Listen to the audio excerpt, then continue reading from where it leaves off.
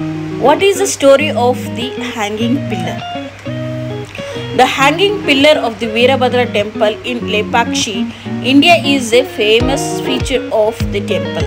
The pillar is suspended from the ceiling and it is not supported by any visible means which makes it appear to be hanging in mid-air. It is famed for another engineering wonder. Among the 70 stone pillars, there is one that hangs from the ceiling. The base of the pillar barely touches the ground and it is possible to pass objects such as thin sheet or paper or a piece of cloth from one side to another. It is said that the pillar is a bit dislodged from its original position when the British engineer tried to move it, an unsuccessful attempt to uncover the secret of this support.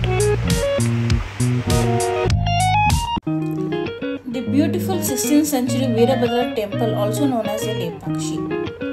The painting in each bay on the ceiling of the main mandapa, they are painted over an initial plaster layer of the lime mortar. Columns and ceiling displaying stories from the epics of Mahabharata, the Ramayana, and the Puranas. This includes a 24 feet by 14 feet fresco of Veerabhadra, the fiery god created by Shiva. On the ceiling, which is the largest fresco of any single figure in India, the color schemes consist of vegetable and minerals colors of yellow, black, blue, and green blended with lime water. The background is generally painted in red.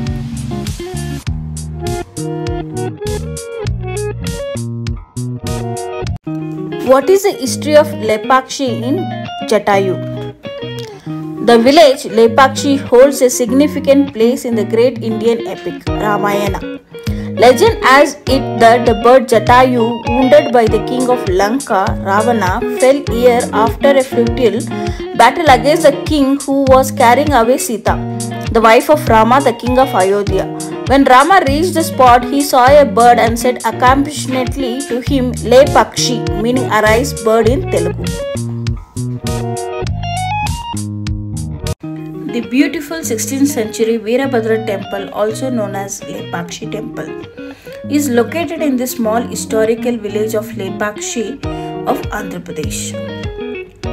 Built in a typical style of Vijayanagara architecture, the temple features many beautiful sculptures of god, goddess, dancer, and musicians, and hundreds of paintings all over the world. Must visit temple.